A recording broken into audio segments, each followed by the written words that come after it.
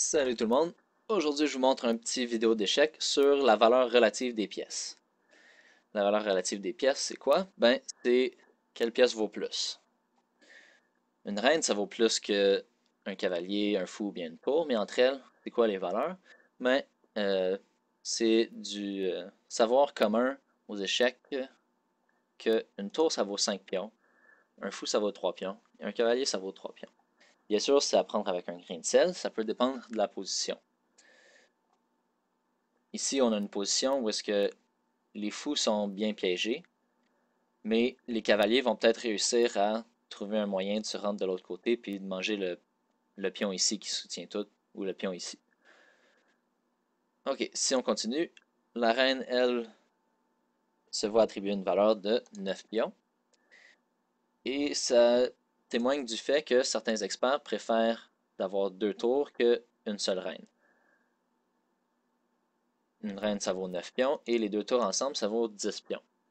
D'autres experts pensent que euh, une reine devrait se voir attribuer une valeur de 10 pions parce qu'ils trouvent que la paire de tours est égale à la reine.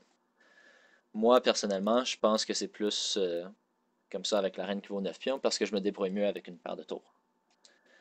Le pion il vaut un pion. Et le roi maintenant, qu'est-ce qu'il vaut? Ben, en 1950, Claude Shannon a écrit un des premiers articles sur les échecs et les ordinateurs. Il explique comment il pourrait programmer un ordi pour jouer aux échecs. Et dans son programme, il donne les valeurs relatives que j'ai données pour les autres pièces. Et pour le roi, il lui donne une valeur de 200 pions pour témoigner du fait que euh, se faire mettre échec et mat, qui est équivalent, si on veut, à se faire manger son roi au prochain tour,